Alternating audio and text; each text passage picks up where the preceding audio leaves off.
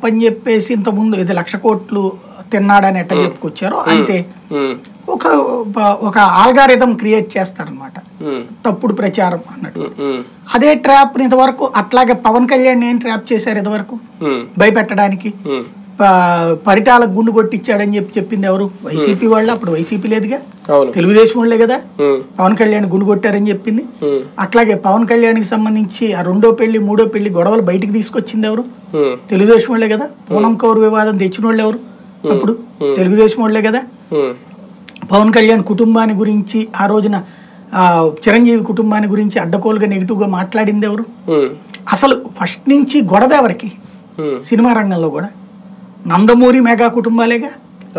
మధ్యలో ఏమన్నా అదెవరు కేవీ రెడ్డి గారు ఇట్లాంటి వాళ్ళు నిర్మాతలుగా చేశారు కానీ వాళ్ళ రెడ్ల కుటుంబాలు ఏం లేవు గొడవలకి? ఏ గొడవలు చేయలేదుగా? గొడవలు వచ్చిందే నా మెగాకి నున్ను వీళ్ళకి.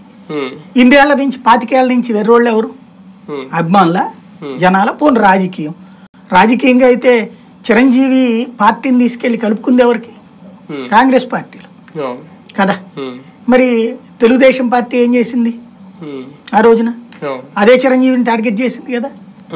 అన్నని బూతులు తిట్టినటువంటి వాళ్ళతో నువ్వు కలుస్తుంటే. ఇంకా అన్న కోసం ఏం చేసినట్టు పోని? ప్రాక్టికల్ పోని నువ్వు నీకుదంటూ ఒక అస్త్రం ఉంది. తను ఎదగడంలో తప్పు లేదు. ఉమ్, తను ఎదగాలని కోరుకోవడంలో తప్పు లేదు. తను సీఎం కావాలన్న హక్కు ఉంది. అడిగే హక్కు ఉంది. తనకంటూ ఒక పాలసీ ఉండాలి. ఇంకోటి జగన్ ఇవాళకి వాళ్ళ గద్దెని ఎక్కనివ్వకూడదు అనుకుంటున్నారు జనం. నన్ను సీఎం ఇదే మమ్మల్ని ఆదరిస్తున్నారు జనసేన. నిన్ను ఆదరిస్తున్నారు జగన్ వద్దంటున్నారు. ఇంకా మధ్యలో నీకు బాబు ఎందుకు? బాబు ఎప్పుడు కావాలి? బాబుని నిరాదరించారు జనం. జగన్ని నిరాదరిస్తున్నారు.